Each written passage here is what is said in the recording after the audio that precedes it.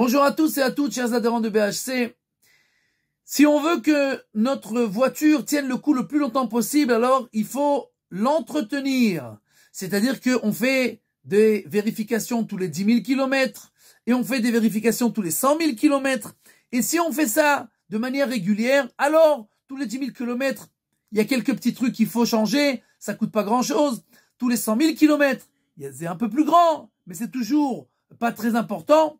Et euh, euh, euh, et alors la voiture pourra rouler énormément de temps.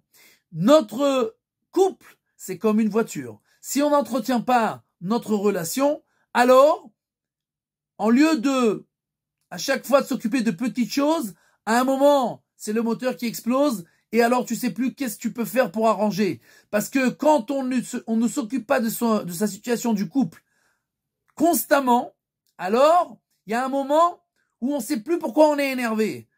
On n'en peut plus, on a mal au cœur, on a mal dans l'âme, on a mal partout, on, on, veut plus continuer parce qu'on n'a pas la force et on sait même pas sur quoi on doit travailler tellement il y a des choses qui nous sautent au visage. C'est pour ça que dans notre situation du couple, on doit faire comme dans la voiture. Toutes les, tout, on doit faire des vérifications euh, à courte durée, tous les 10 000 kilomètres, c'est-à-dire une fois par semaine, et tous les 100 000 kilomètres, c'est-à-dire une fois par an même si je parle avec ma femme tous les jours, je lui parle au téléphone tous les jours, il faut que, par définition, une fois par semaine, nous sortons 2, 3, 4 heures pour nous occuper de notre couple, de parler qu'est-ce qui va et on renforce les choses qui sont bien, et pour parler des choses qu'il faut améliorer, et on réfléchit comment on fait pour améliorer, mais à chaque fois c'est des petites choses, et alors ça passe, et on arrive à arranger, et tout continue de manière intelligente. De la même manière, une fois par an, on prend de manière beaucoup plus euh, amok, euh, profond, d'accord euh, C'est les 100 000 kilomètres, on va et on prend 3-4 jours ensemble où on renforce notre couple, où on prend du bon temps ensemble, où on parle de notre situation, etc.